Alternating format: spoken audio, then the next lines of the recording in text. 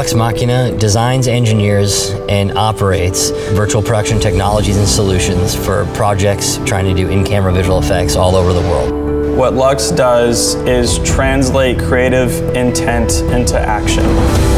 We started in virtual production as a company before anybody was thinking about trying to do large-scale LED volumes. Why should somebody hire Lux? Well, because we've been doing this for a very long time. Certainly, you can get a computer and plug it into an LED wall and put pictures on a screen. That's half the battle. The rest of it is making sure that you can survive the needs of production at the pace that they're going to go. Lux Machina's virtual production supervisors and producers are some of the most experienced in the industry. We come from a long range of people who have been working both in broadcast, film, episodic, and corporate events. We understand exactly what you need from a production point of view as opposed to a manufacturer. Tie all the products together, make sure they operate together on set. Will also help add the creative and technical knowledge that we have that those manufacturers might not have. We are well aware of what it's like to sit in the seat and pilot these systems and people with a lot of understanding how these systems come together and how they're utilized on set.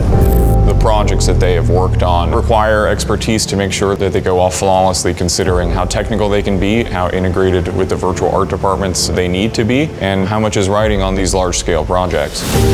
This is our version of the brain bar. This is what it looks like when they're programming. We've got technical artists in the space as well, and those are people who are going to build out special effects, optimize the content, and really make sure that everything's running as smoothly as possible. Or even farther down, you can see there's actually a camera tracking station. We're building tool sets for controlling light cards that we can preview in real time quickly. So it kind of lays a foundation for the DP to start the work, and then you can fine tune from there. We've got custom previs tools that we built in Unreal that we use for our clients, giving someone at home the ability to camera block and scout.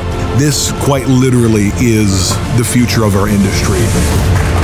And it's incredible to see it continuing to evolve as we kind of move forward through this. I welcome that future, and I think that's something that is going to enable a lot of creativity that doesn't currently exist today. Sort of why many of us joined this industry and started to get involved in the entertainment industry to make creative decisions that help tell stories together and to have that narrative process unfold in front of us.